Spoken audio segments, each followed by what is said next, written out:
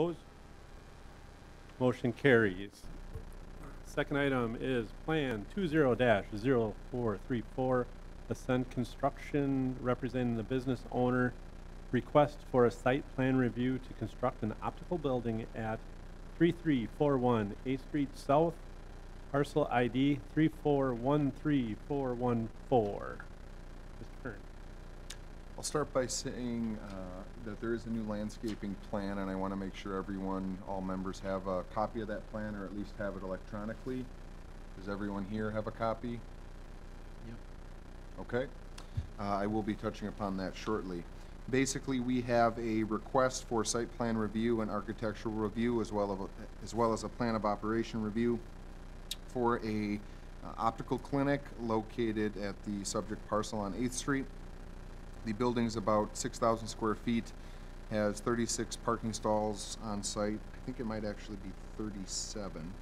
Um, it's zone B two commercial district, and a healthcare clinic is permitted within the B two district.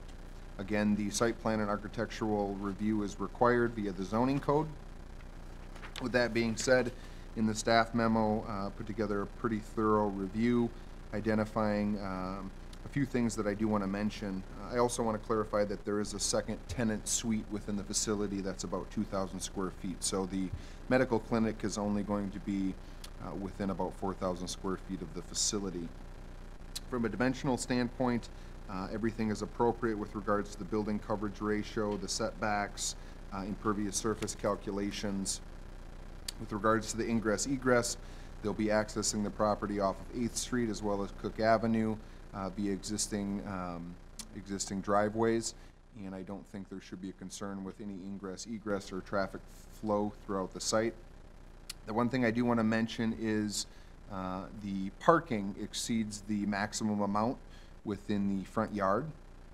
So the zoning code regulates, um, I believe it's thirty-five percent of the total stalls which can be allowed within the front of the building.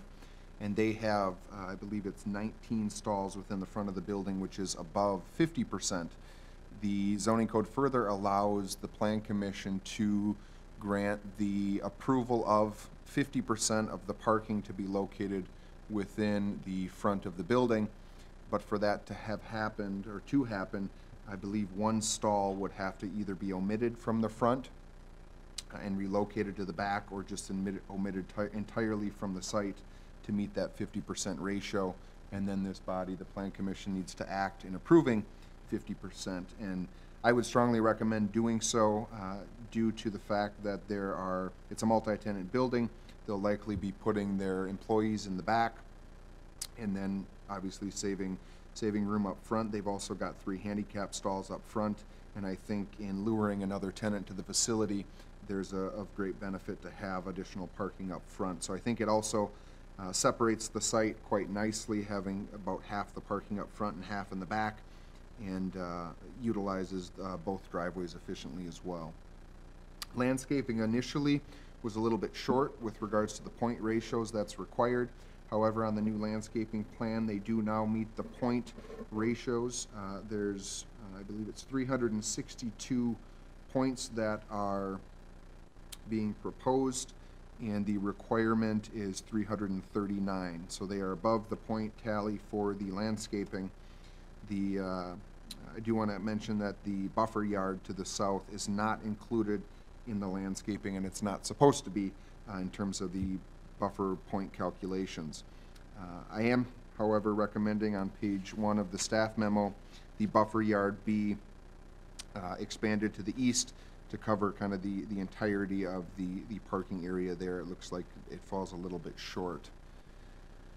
Along with that, I am also uh, recommending a few other conditions. Um, Again, they've met one of the conditions with regards to an updated landscaping plan, but I still think uh, we'd want to see a new site plan showing that the parking lot is uh, meeting the fifty percent ratio up front, as well as the extended buffer yard.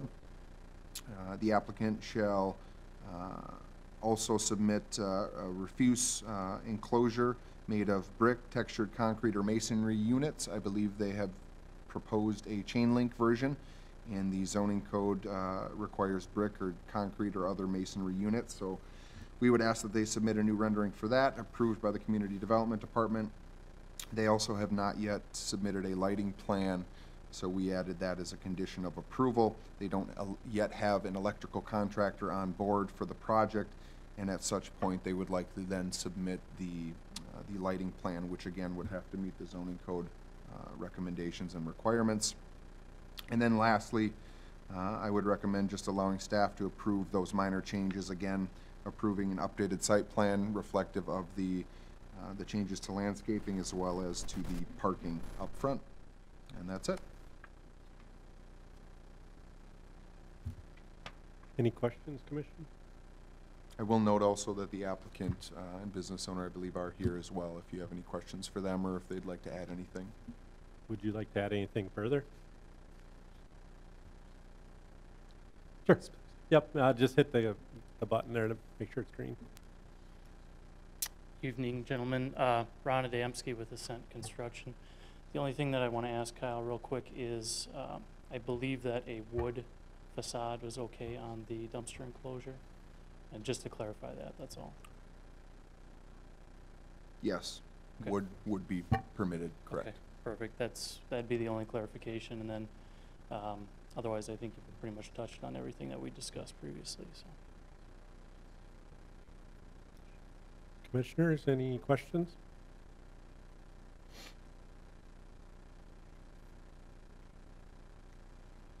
Hearing none, I'd entertain a motion.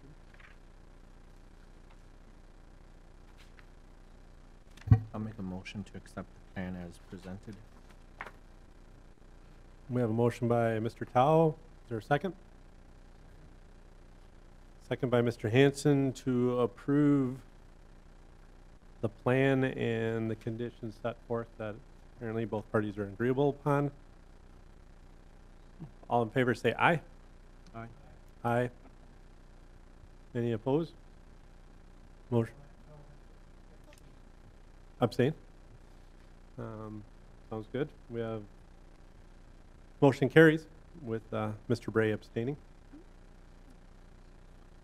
Uh, Let me get back to my agenda. Seeing nothing further, item number three is adjournment.